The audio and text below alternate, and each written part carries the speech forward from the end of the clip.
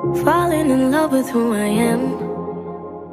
I don't have time for anything that's gonna harm me. It may be hard to understand. Words have the power to empower or destroy me now. I'm looking in the inside now, claiming what I lost and found. I'm on this journey